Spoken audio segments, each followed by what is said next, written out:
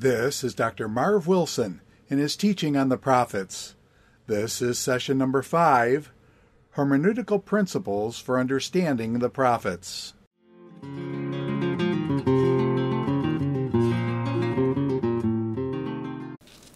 All right, I'm uh, ready to begin. Let's have a word of prayer, please. Our Father, we uh, thank you for the prophets of Israel.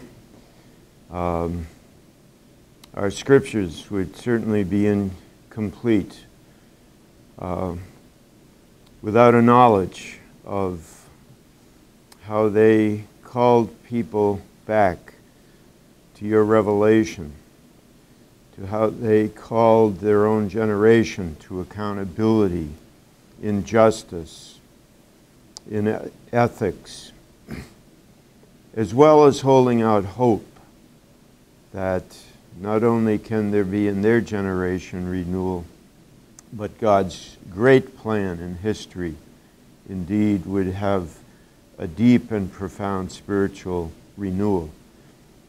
We pray that we will always be people who have a message for our generation as well as uh, a message of hope uh, for the future. Thank you that our kingdom ultimately is uh, a dynamic kingdom as you have broken into our lives and one which reaches beyond this life, even to the life to come. And for that we rejoice on this Friday morning. Through Christ our Lord. Amen. All right, a couple announcements uh, just to remind you. There was a uh, correction I made in the syllabus for the date of the final exam. I think most, if not all of you, have uh, made that correction. The final exam is May 16 on Monday at uh, 2.30. Just make sure you've uh, made that uh, correction in the syllabus. Also, I um, had an email from the Academic Support Center uh, indicating uh, they are in need of a note keeper for this course. Some of you could take notes, and uh, they would uh, assume the cost of uh, duplicating the notes and also pay somebody a small stipend if you would be willing to do that. Your name would be anonymous, but if you can help, um, go to the ASC and uh, let them know that you're willing to do that. All right, today I'd uh, like to uh, in introduce uh, what I would call some hermeneutical uh, principles, some interpretive principles for understanding the prophets and prophetic teaching. I say hermeneutical uh, principles because um, the prophets are not always uh, easy to interpret. And I remember I was teaching a class, I was in my mid 20s teaching a class on the prophets at Park Street Church in uh, Boston. It was a 10 week Tuesday evening class. I was teaching on uh, Jeremiah and Ezekiel. I was in my uh, first year of graduate studies at the time at Brandeis University. And um, a woman who attended Park Street uh, called my mother. She lived in the same town. How come your son is teaching a course in the prophets? He didn't graduate from, and she gave the name of a famous evangelical seminary in the Southwest. What does he know about the prophets? That's the only school that teaches the prophets. Well, I will not mention that school. Um, it has been uh, famous for a hundred years or more. particularly for its theological journal and other things, as uh, putting a lot of emphasis uh, upon the futuristic parts of prophecy, the future of Israel, and all of the wonderful things dealing with end times. This woman's problem was I came from a seminary within a bike ride of where I give this lecture. she said they don't teach prophecy there. What, what she was probably getting at was that particular seminary is not famous for unrolling charts and uh, filling in all of the precise chronological details of the end times.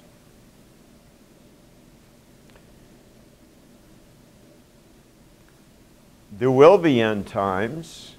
Eschatology is a viable and a good subject for any book on Christian doctrine or systematic theology. And there are a wide number of views out there. Some very simple and clean and uncomplicated, and some very, very detailed, very, very literalistic, um, very, very um, uh, worked out chronologically, everything you need to know about getting ready for the end, kind of thing. Now, what I want to do uh, in this section, some of the things I have to say uh, deal with the prophets of Israel um, and what they were projecting for the future. Other things I have to say deal with the prophets in a more general sense. But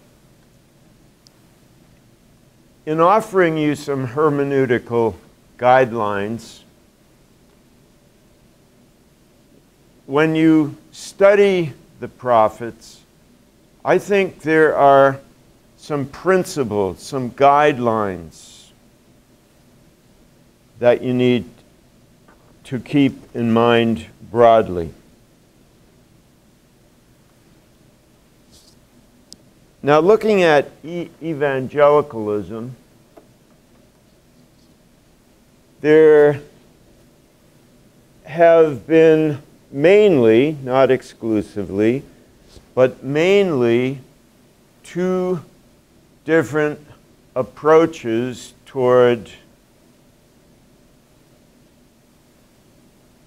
interpreting prophetic literature particularly those parts of prophetic literature which involve futuristic events. One of those two schools is often described as a reformed or covenantal approach to prophecy, and the other, a so called dispensational approach to prophecy. Toward the end of the uh, 19th century and going especially into the 20th century, when you find the rise of the so called Bible school or Bible Institute movement, greatly influenced by the Scofield Reference Bible, among a number of other things. And many of these Bible schools, um, very predictive, uh, predictably, uh, which pun intended, uh, uh, put a lot of emphasis on eschatology prophecy conferences. I grew up in the Boston area. I remember there would be churches, and they would uh, bring the president or the dean or somebody from the Bible department from one of these Bible colleges. virtually all of these Bible colleges exist today. Many of them have moved into a more liberal arts education rather than specifically being training institutes to launch people into missions field and uh, Christian uh, vocations directly. But you would talk about varieties of things dealing with the end times, the Antichrist, judgments, the Great Tribulation, the rapture, the great white throne judgment, the thousand year reign of Christ on this earth, the final climactic battle of history, Armageddon. And a lot of these kinds of emphases popularized the prophets in the churches among lay people.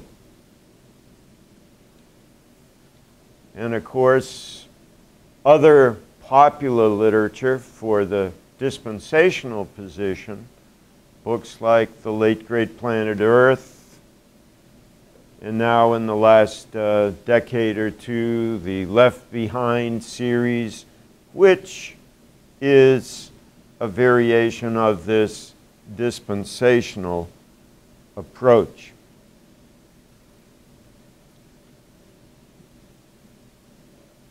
Just to give you a, the briefest of, of overviews so you can uh, understand the distinction between these two views, which very much have, have dominated uh, the thinking within the evangelical church. Basically, dispensationalism made or makes a distinction between Israel and the church. They are two separate entities. Therefore, things which refer to biblical Israel are not gobbled up and spiritualized uh, by a new Israel, i.e., the church, but they are only to be understood in very literalistic uh, ways. So, Dispensationalism has tended, excuse me, to hold to a literalistic interpretation of Old Testament prophecy. It focuses a lot on Israelology. There is definitely an emphasis in Old Testament prophecy upon the future of Israel as seen in her being gathered from the nations of the earth, being restored to their land in preparation for the end times. And the Jewish people's regathering to the land indeed is one of the signs of the end. Dispensationalists also put an emphasis on other things associated with Israel's ingathering, uh, return, things like a re- rebuilt temple, which, of course, looking at it from a human point of view, is a difficult thing. With two mosques right now up on the Temple Mount, how might one understand that possibility. Also, the idea of a revived priesthood, revived sacrificial system, the necessity to come up with a red heifer, as the book of Numbers describes this animal that would be burned as part of the return to the sacrificial system.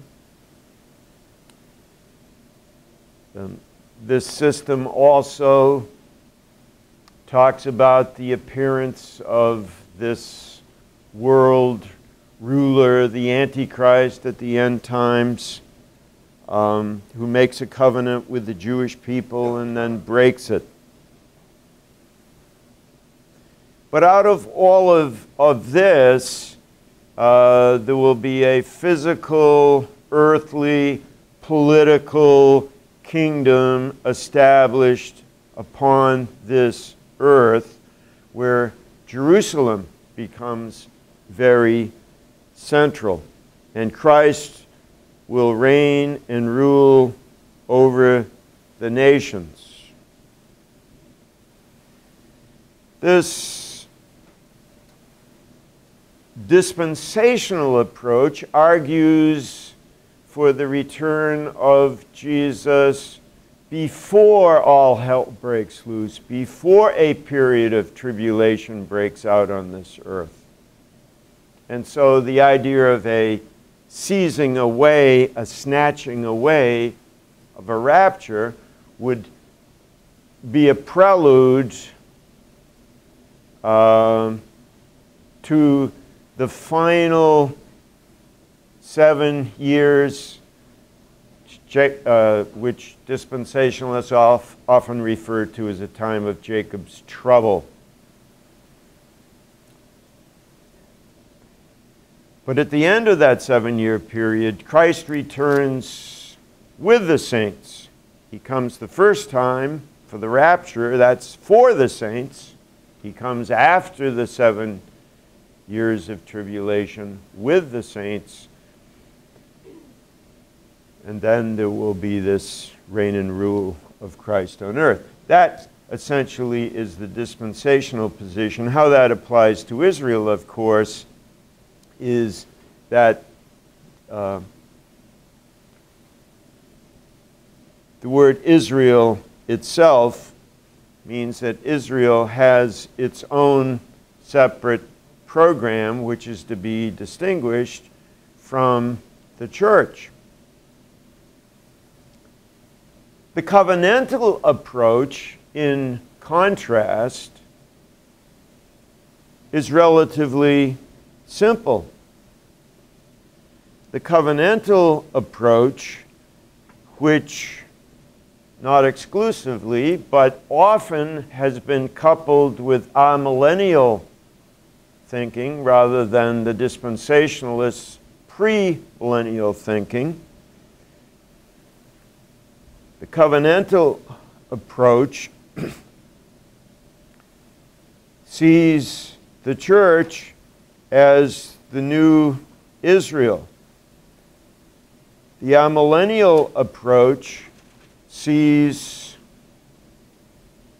um, or covenantal approach, sees Christ reigning and ruling, has been reigning and ruling through the whole history of the church. It's already happening. It's an existential reality as Christ dynamically reigns and rules through his Holy Spirit in the church throughout the church age. Therefore, the details of any specific future for Israel, a return to the land, uh, a restoration of sacrifices, uh, usually none of these things are in any way understood literally. Symbolically, um, they are part of understanding something which has replaced Israel, displaced Israel in the plan of God, namely the church, which is a universal body. scattered throughout uh, the world, which um, excuse me, which focuses on Christ and his reign and his rule in the human heart. That's covenant theology. So, covenant theology then focuses on Christology and spirituality and says this language about Israel's future is figurative and is not to be understood or pressed for the most part in any literal way. So you don't expect any precise future for Israel. Many covenant theologians, Reformed theologians, uh, don't see an earthly future for Israel in the city of Israel or Jerusalem, in the land of Israel, any more than the Finland people or the Iceland people or the Fiji people have a future.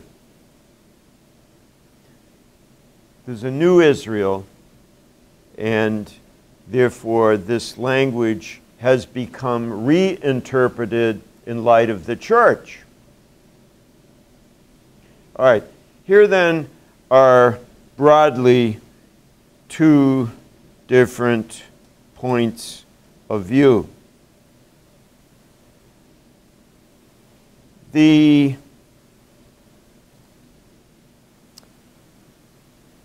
raising of the question of the how we understand the future of Israel in the church you often hear these words thrown around. Are you pre-mill? Are you post-mill? Are you an a-mill?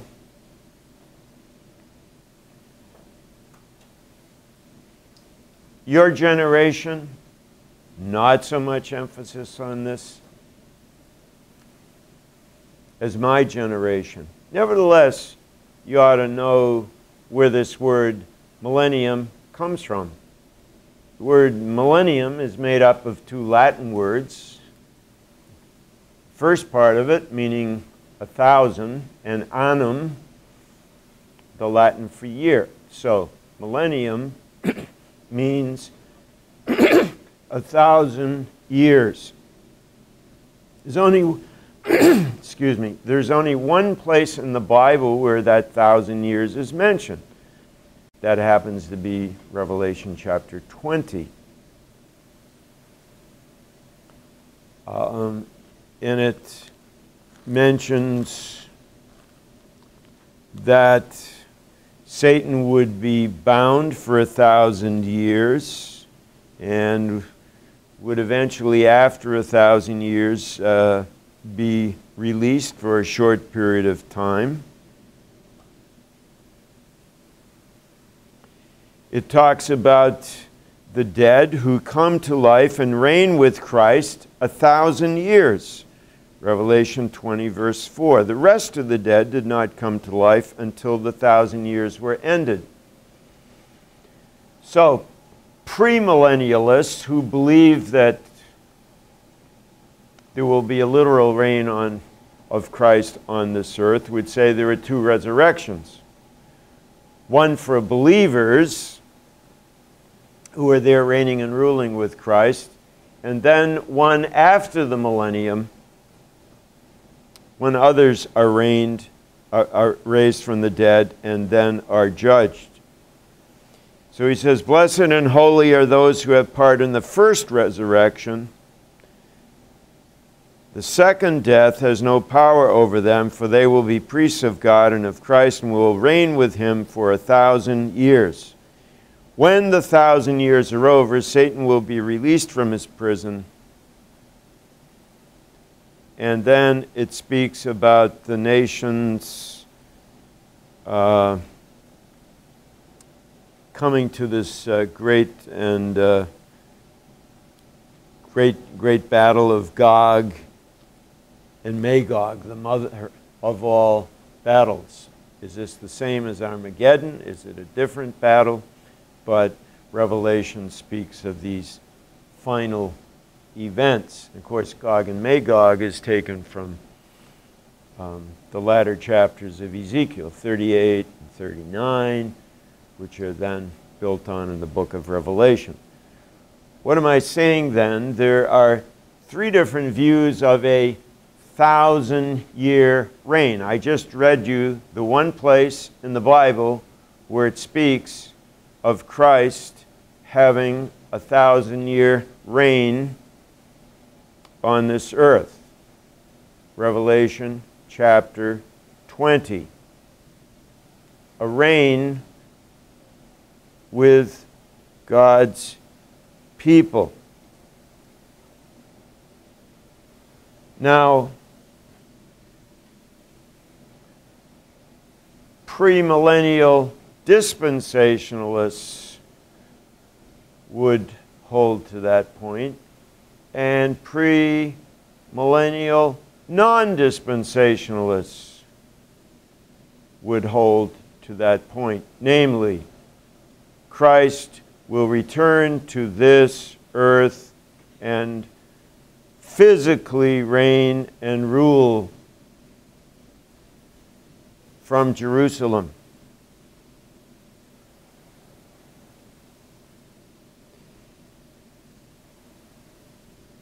The postmillennial position is a very simple position. It's perhaps the least popular among evangelical Christians, but at earlier times in church history, it had varying degrees of popularity. Post millennial, meaning after the millennium. The post millennial position says there will be a gradual social change until a great enlightened spiritually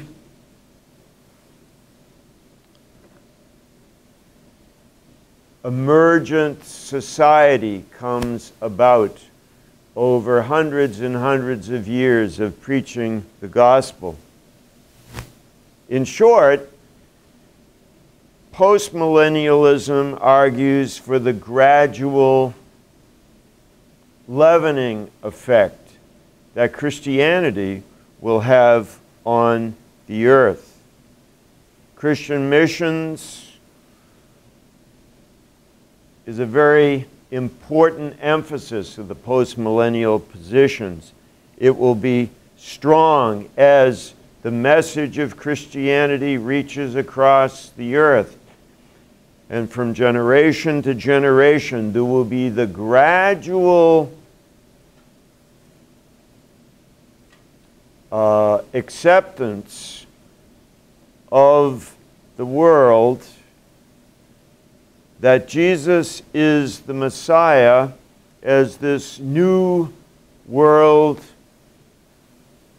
is conquered not by weapons, but by the power of the Spirit. And after this new world is built, then the Messiah will come. So the spiritual Messiah or the spiritual society is going to emerge after many generations of preaching the gospel. Opponents of this postmillennial approach, which argues the world is going to get better and better because the power of the gospel is going to transform human hearts around the world, the opponents of that view say, you know, you have too optimistic a view of human nature. You don't know how sin has captured the hearts of people. You ought to believe in total depravity. It would give you a more realistic view that there's going to be a lot of stubborn resistance out there.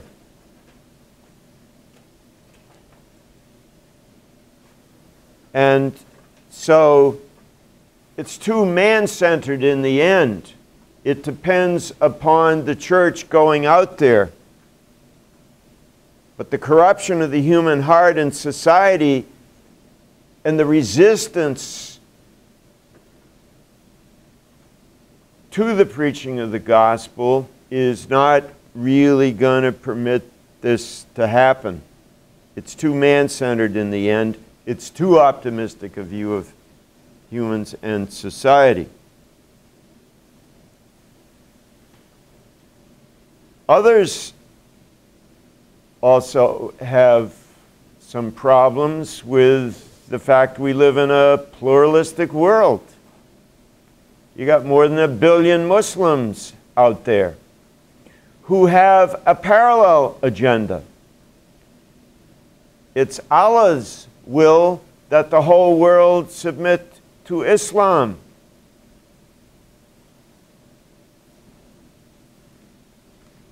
And the Christian system comes along and says, no, the whole world will submit to Christ. And so the power of the Holy Spirit to change the hearts of people will result in this. In a pluralistic world, how far potentially would the gospel have to go before the end in this vision that the world will be, quote, Christianized?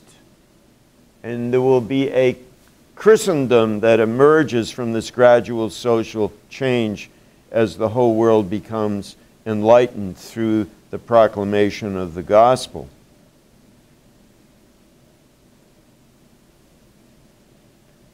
Or some of my Jewish friends would say to me, suppose we resist the Christian agenda if the whole world is to be Christianized.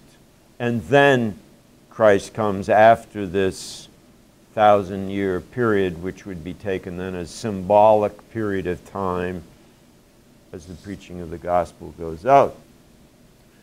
What happens if push comes to shove? All right, so there's the post millennial view. The amillennial view which uh, particularly is something that was articulated by Augustine in the fifth century and by many others from particularly that time onward. Um, says there's no millennium, a millennium. So, therefore,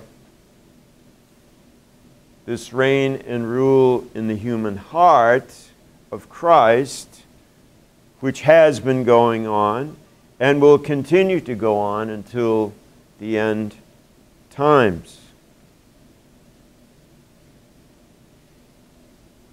So the Jewish people then, and whatever the prophetic text says about Israel, it's to be reinterpreted because the church is the second stage of the salvation rocket. The first stage has fizzled out and been replaced by a new spiritually enlightened Israel. And so, therefore, the concrete earthly geopolitical emphases in the Old Testament prophets canceled.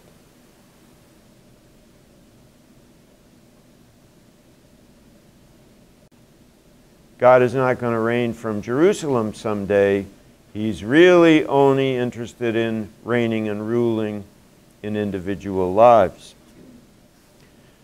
All right. So here are a number of different points of view. I would say, certainly, for a number of decades now, because of the cross fertilization of covenant theologians with dispensational theologians and the conversations that they have had, dispensationalism has been gradually changing and gradually opening to a much more progressive uh, uh, point of view where uh, the kingdom of God, instead of being something which would be understood as futuristic and in Jerusalem, more and more has become uh, understood as having possibilities in the spiritual realm.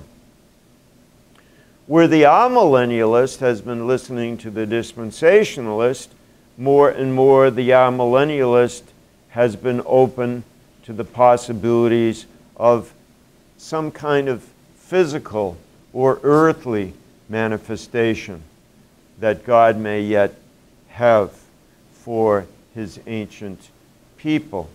And while there are probably as many views out there as there are believers, the reason for this is these are rather complex issues.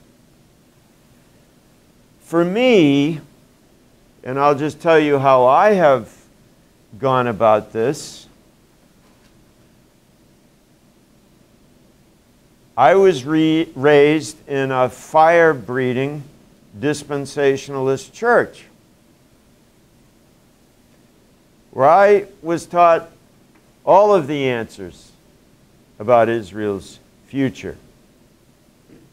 Not only were they found in the Bible itself, but all the notes in the Bible that our pastor used from the pulpit clarified what was already, the interpretation was already baked into the Bible. So the notes just clarified what Scripture clearly taught. Then I went to a seminary where many of those views were challenged by a more covenantal and reformed amillennial approach. One of the things you have to learn about theology is you really need to hear many, many voices in theology because there's a conversation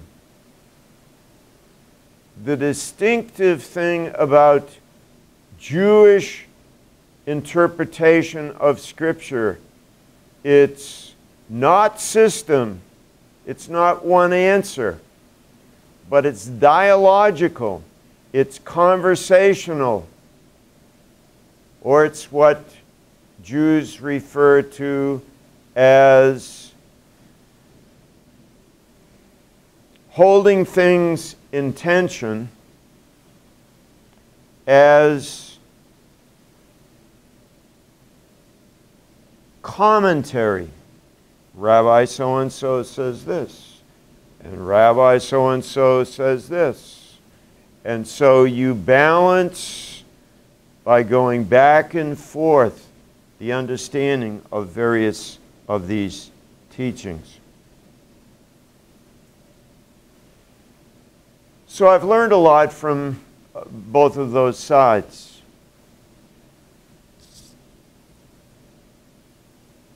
I spent a lot of time reflecting on this myself. And I'll tell you where I am at. I cannot personally believe that everything God taught for nearly 2,000 years from Abraham till Jesus, that the moment the church is born, and the leaders of the earliest church, all being Jews, and keep in mind, you couldn't get in that church for the first 20 years of it unless you were Jewish. AD 29 to AD 49, the church was a movement within Judaism. It was called the Nazarene movement, as the book of Acts tells us. And if you wanted to be part of the Jesus movement, you had to convert to Judaism to be part of it. until, of course, the Council of Jerusalem in Acts 15 said, yeah, Gentiles may join Jews. And here are the sensitivities that must be preserved. So it was a movement within Judaism. And what I am simply saying is for nearly 2,000 years, God was working through a particular people. And I cannot see the Apostle Paul saying, All the promises God made to my ancestors in the flesh, ethnic, national, physical, Jewish people, there's a new entity now that's all of those promises about an eternal covenant, about a land which is part of a Brit Olam, an eternal covenant. All of that's called off now. God's changed his mind. No. You read what Paul says in Romans 9 to 11, and I had this self imposed thing. I wanted to read Romans 9 to 11 to see what Jew and Gentile in the plan of God were about after hearing both of these two main systems presented to me uh, part, as part of my spiritual pilgrimage.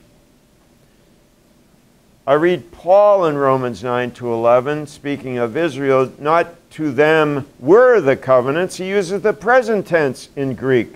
To them are the covenants.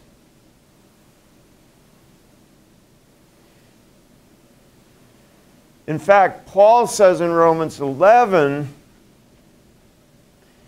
the coming of faith of Gentiles is in God's sovereign plan to evoke envy, to provoke jealousy to God's physical, earthly people. Because Israel physically continues. Even though branches have been cut off because of unbelief, God is able to graft them in again says Paul.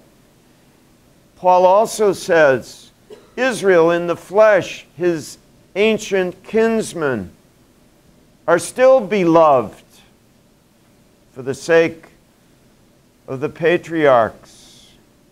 They are still a holy people, set apart in God's purposes.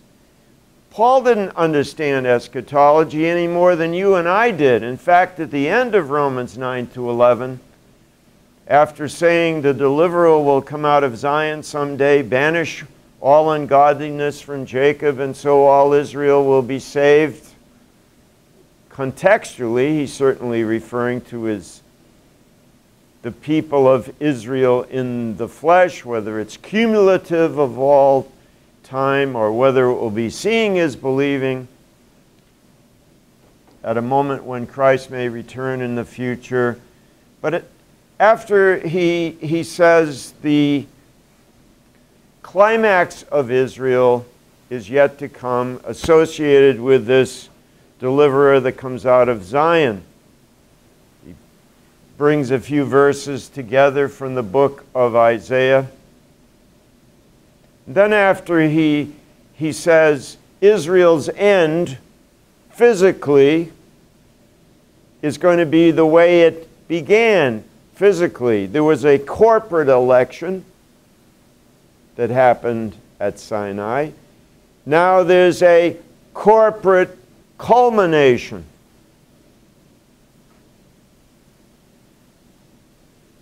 The details of which Paul didn't get he throws up his hands at the end of Romans 11 and says, Oh, the wisdom the, of this, this mystery of God, which I don't grasp.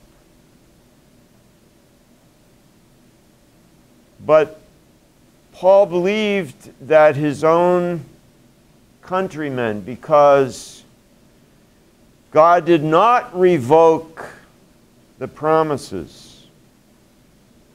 God would still remain true to the promises. Now, there are promises in the Old Testament to physical Israel which do get expanded in the New Testament include the church. Make no mistake about that.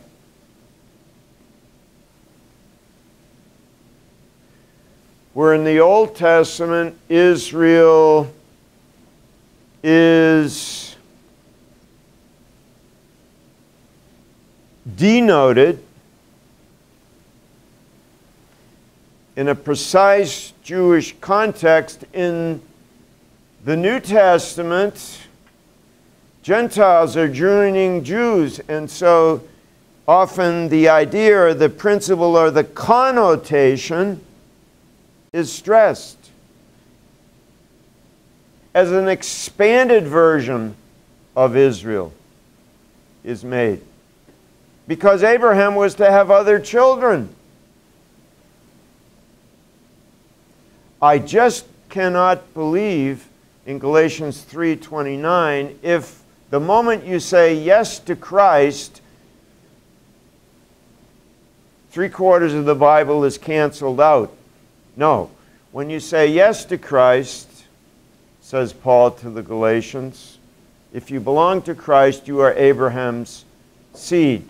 To be part of Abraham's seed, you cannot be indifferent to Abraham's people or Abraham's land or the things that God promised that patriarch. And so I think the solution to the problem of Israel, in part, has to involve the proper methodology. What is proper methodology? While the relation between Israel and the church or Israel and her future, I think, is complex. The solutions historically in the church have, have resulted in some very unquestionable understanding of Scripture. Why? The second century, up on the Black Sea, there was a uh, father of the church called Marcion, M A R C I O N.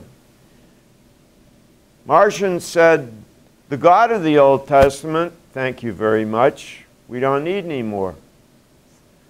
Throw this God of the Jewish people, throw him out.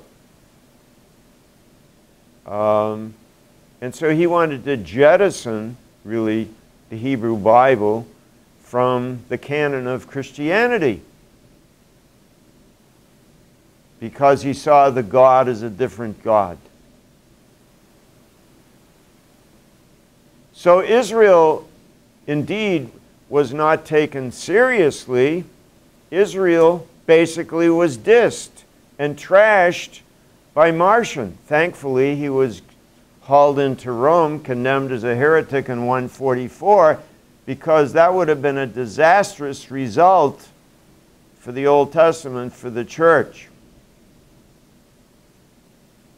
Now, there are vestiges or pockets of neo Marcionism in the church today. If you go to a church where you have to wait several months before you get an Old Testament sermon, it may be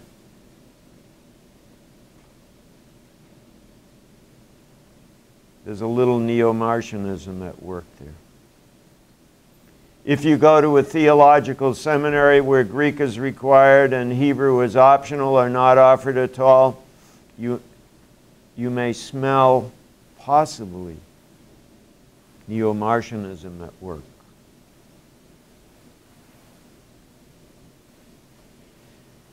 A second uh, approach historically in the early Christian centuries, especially, the church fathers came along. And they wanted to allegorize these great prophecies in, about Israel. Anything to do with Israel's future, particularly God's blessing and pouring out of His Spirit and grace and mercy and expressions of His love. We'll take it. That's the message of the prophets for the church. And the church fathers, what did they do? They tended to allegorize symbolic meaning in the Old Testament, or they found Christological meaning in the prophets. That's how they saved parts of the Old Testament. But those parts of the Old Testament get their meaning now in the church.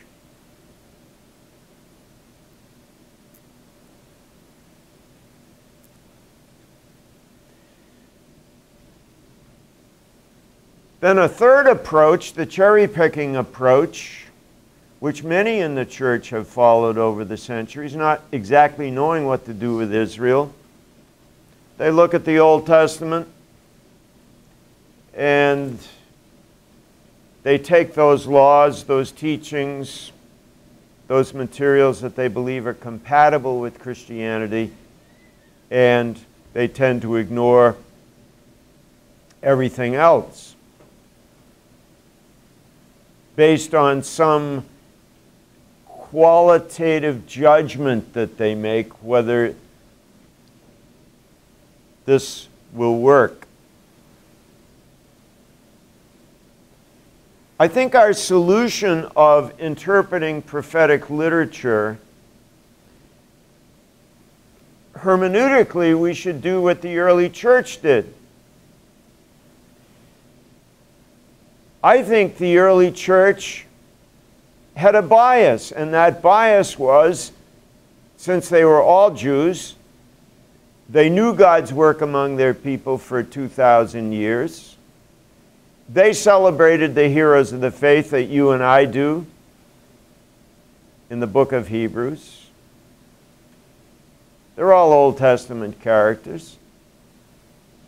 And so their their bias was nothing in the New Testament can contradict what's found in the Old Testament.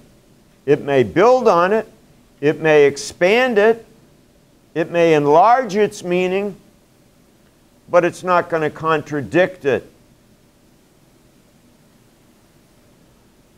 All Scripture is given by God and is profitable says Paul to Timothy, primarily referring to the Old Testament.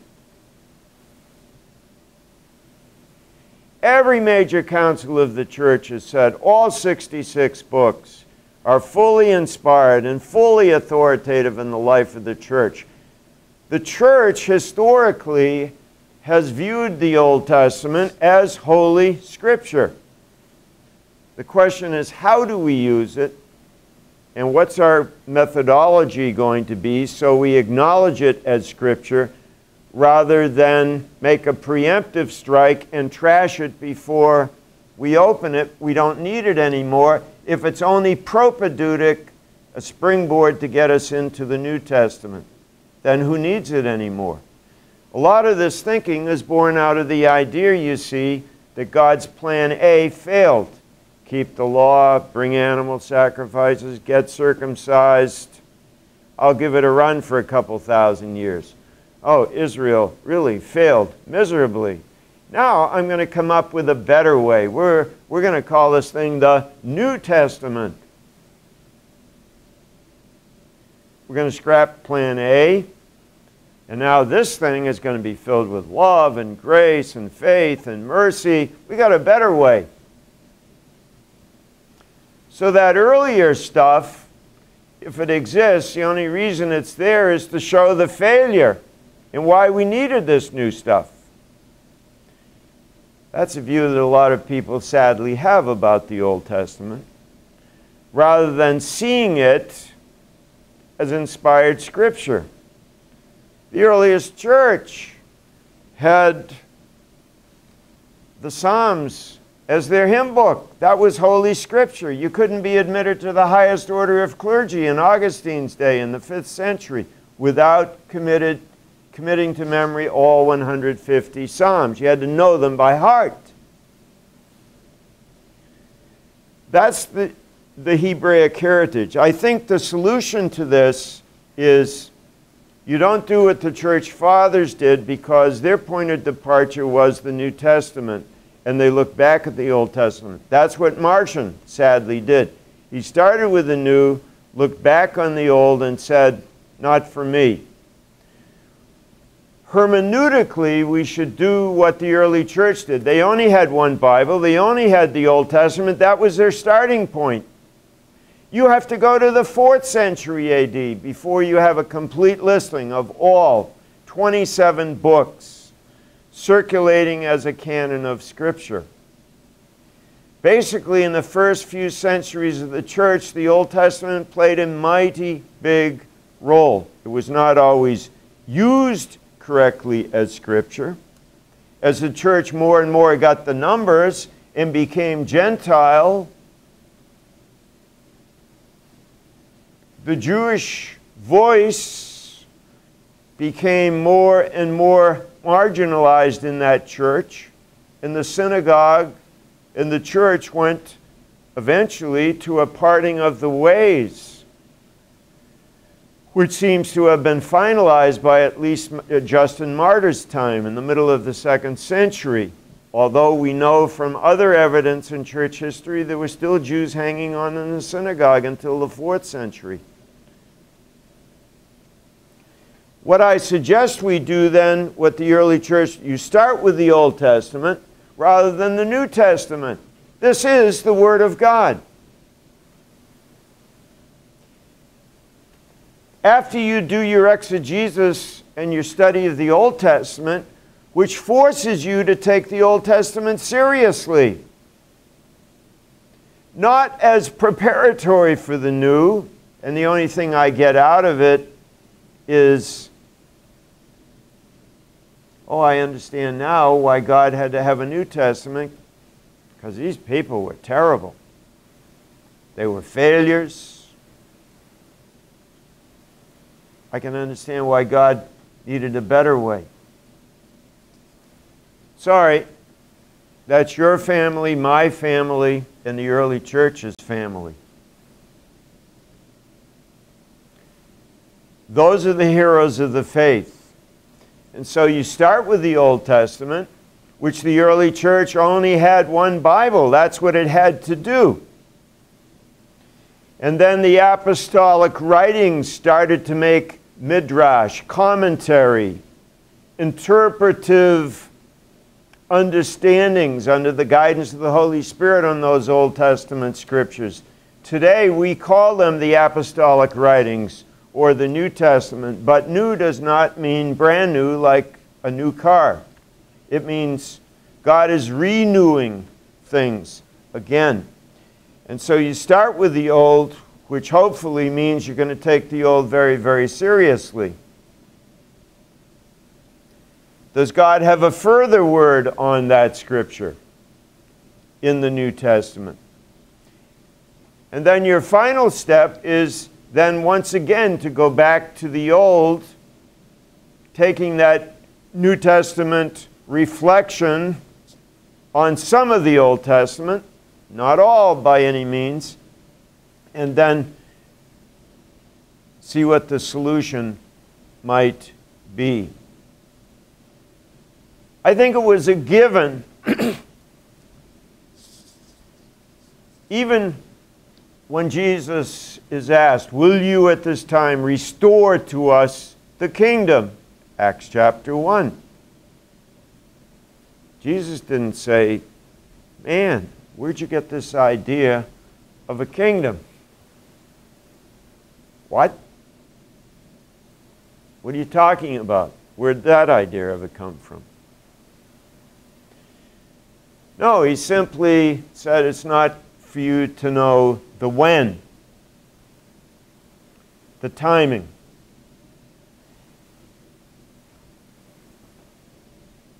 Jesus could have taken a wonder, taken one of those moments to spiritualize uh, the whole concept of the kingdom right there, but uh, he doesn't.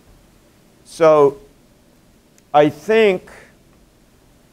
Uh, as I will do in Monday's lecture show there's reason to pause about pressing many of the details of biblical prophecy in the future. But it seems that uh, if we take the approach of the earliest church, we're forced, these are my people, Paul says. God has been at work with them. Does he cancel them all out now all of a sudden? There's a lot of language also in the Old Testament that is geopolitical. The notion of a Messiah. What's a Messiah do? He's a warrior figure, he's a king figure, he's a ruler figure. That's physical, earthly.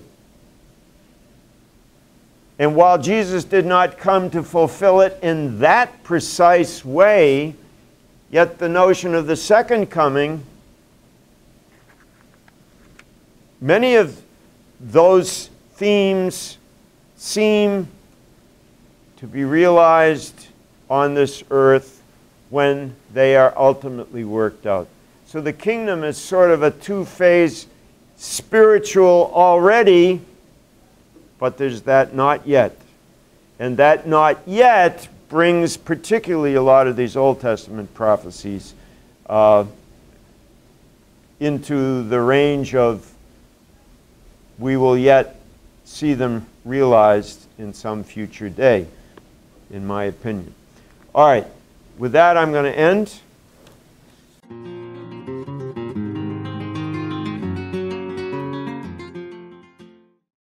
This is Dr. Marv Wilson in his teaching on the prophets.